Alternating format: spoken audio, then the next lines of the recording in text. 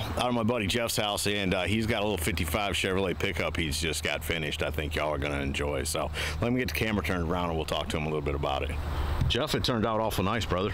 Thank you, buddy. You happy with it? I'm very happy with it. This truck is a 55 Chevrolet, uh, born and raised in Atlanta, Georgia, up till three years ago when I brought it up here and uh, redid the whole truck. Had you been looking for a 55, or was there a, was there a, a group of years there that would have worked for you? No, not really. Uh, the story is I got it from my son. He had it in his backyard. It was free, so uh, I took it, and yeah. it was a big back window. Uh, yeah, free, right? Yeah, free. Yeah, right. Uh-huh. it ain't free now. No, but it's pretty. Oh, it is pretty. Who did the work for you? Uh, paint and body work was done by uh, B Rods here in Knoxville, Tennessee. Uh, I did the fabrication. Milliken Motorsports did the fabrication and uh, installation and putting together sort of thing.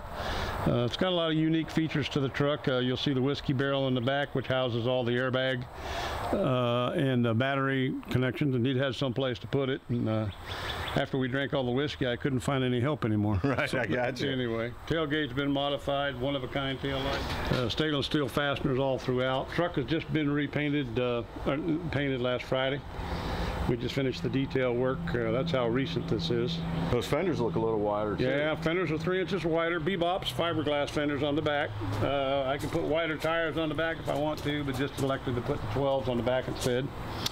Uh, striping was What done. are those, 20s? Those are 20s on the back. 18s on the front? On the front. Yeah. And uh, Howard Horn did the striping for us here in Knoxville, uh, striper here in town, well known. Uh, the blue is a, a Honda blue. Uh, of course, the top is a matte black, they call it. The, the mid-stripe blue is a uh, from a Ford Focus. So I've kind of combined everything together. And is that cab, is that all stock too? That's all stock with exception of the hood. The hood is a GMC hood. I just like something a little different on my vehicles. Uh, now we've uh, straightened all the lines up. We've made a lot more crisper. Uh, made a lot, the bumpers have been shortened and narrowed and lightened up. Turn signals on the front have been changed over to LEDs. Most all, all the vehicle lights are LEDs, including the interior. And that's a that's a 55 bed that's on it too. That's a 55 bed with the other fenders on it. Uh, with a fire, just three inch wider fenders on it, so we could put bigger tires if I wanted to. I don't know why. It just looks like it looks a little more modern now. I guess it's crisping up them lines helped. Yeah, it, it helps quite a bit. Everything's been straightened up. Uh, joints are a lot better. Of course, back in those years, they weren't too uh, cautious with with uh, quality which uh, we've improved a lot of that here. As you can tell, uh, B-Rod did an excellent job on the paint and body work. A lot of handwork on this truck. Talented, they sure are. They are very good people. PJ to too. With. He can he can get stuff straight, and they got somebody out there that can paint it and yeah, make PJ. it look good. No, it turned out nice. Yeah, PJ, uh, David Travis was one of the big key uh, craftsmen worked on along with the Randy Pratt. So three. What about craftsmen. what about that intake in the hood there? Is that something that they did, or is that something you'd already had? Uh, the intake on the hood is part of the GMC opening there. That's just where the GMC fitting goes. Oh, okay. I just took it out and put the screen there. Uh, so there would have been a panel originally that yeah, fit in there. Yeah, there would have been a GMC device there. Uh, I just wanted something a little different. Uh, is that grill? Is that grill stock? That grill stock, 100% stock, chrome plated. Yeah, lights, turn signals, as I said earlier, have been changed down to the to the LED style and got rid of the round ones that were on the fenders originally. But fenders are new, Dynacorn products. And it's got uh, it's sitting on bags, I'm guessing. Airbag, air, complete air ride system with uh, level controls, etc. Oh, I like that stripe too. That worked out well. Of course, everybody's gonna like that big back window, right? Oh, I think so. Yeah. All the smoke glass in it. Everything's new. Right, right. Tailgate's been modified, smoothed out. Have uh, tailgate latches are our supports are NASCAR, actually NASCAR hood props. Yeah, I thought those looked familiar. From Sunday afternoon? Yeah. Yeah. I've got friends that work in NASCAR, so I get some parts from them. They throw that kind of stuff away. Of course, that's gold for us. Oh, yeah. All new wood. The uh, hubcaps on the wheels might be a little bit of an interest. Uh, the hubcaps are actually hubcaps off NASCAR wheels. Right on. I, I just machined that. them and adapt them to the wheels. And then you got your uh, shut off on the side of that barrel too. I do, yeah, yeah. Oh, that's cool. Open that barrel for me if you don't sure, mind. no sweat. This is where all the air ride equipment rides, battery, etc. Yeah, no, what a way. That's a cool yeah. way to hide it. It is. Yeah, real whiskey barrel too. It's all charred on the inside. It is, real yeah. whiskey barrel. Uh, a little hangover when I got done drinking it all, but other than that, we did all right. well, the truck turned out good for somebody that drank a barrel of whiskey, yeah. that's for sure. Who did this work? Uh, this work interior was done by um, Todd Kurt, Kirk's Custom Upholstery in Corryton, Tennessee. He's done several of my cars. Uh, leather suede uh, throughout the truck. Um, everything's been hidden. The dash has been modified slightly to smooth it out a little bit. Uh, gauges are all new. Da- speedometers run from a GPS. I like them gauges. That looks good. A little different. A little Yeah, it's modern, but you didn't change anything. Right, I wanted to keep the same concept look. Uh, did the old '60s deal with the uh, with the tachometer. The speedometer, uh, the steering wheel is actually an original '59 Chevrolet Impala steering wheel.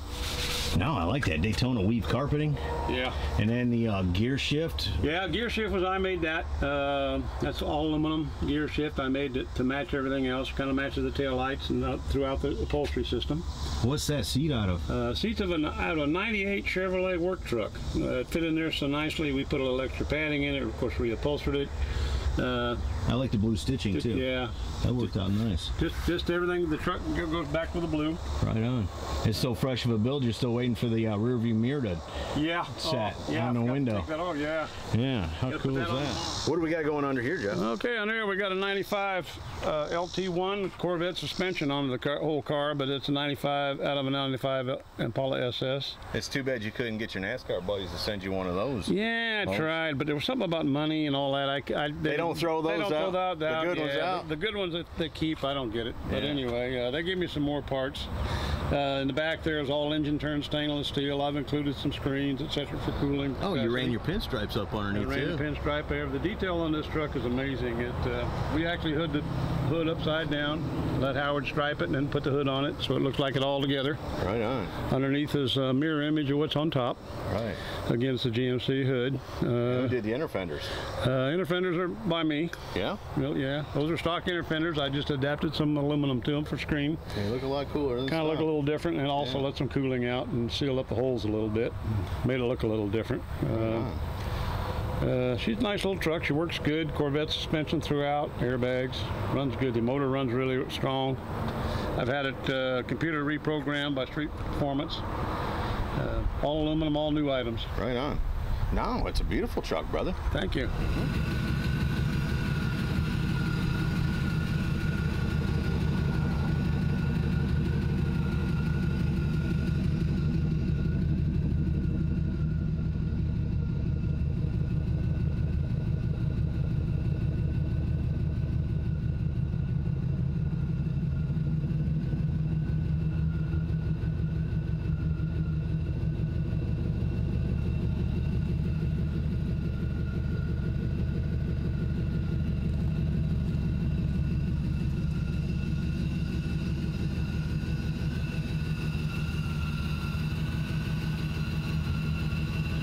beautiful job, brother. Thank you, buddy. Scotty, I appreciate you coming out and looking at it. No, thanks for letting me come out. Yeah, she'll, uh, actually, there's, uh, I'd like to give a shout out to B. Rod's Custom, Kurt's Auto Upholstery, Howard Horn, and Milliken Motorsports, uh, for all the help they've given me on it. Uh, actually, the truck's gonna be in Louisville this weekend. That's at the NSRA. NSRA National event in Louisville, starting, uh, Thursday, Friday, Saturday this week. That's right. Well, it won't be this week when we post it, but it was Okay, the, fair was enough. the event. But But she'll be there. Uh, the next plan will be Shades. Actually, the plan is actually drive this truck to in the uh, what they call driving dirty tour, uh, which on the way to SEMA. oh, you're gonna drive us all the way to SEMA? drive to SEMA. Sure am. All right, well, I I'll built a drive truck then. to drive. These aren't trailer trucks. These are driven trucks. I got you. Well, I'll see you at SEMA then. All right, buddy. Awesome. Well, there you go. There's a uh, very nice 55 Chevy pickup truck. Hope y'all have enjoyed it. See ya.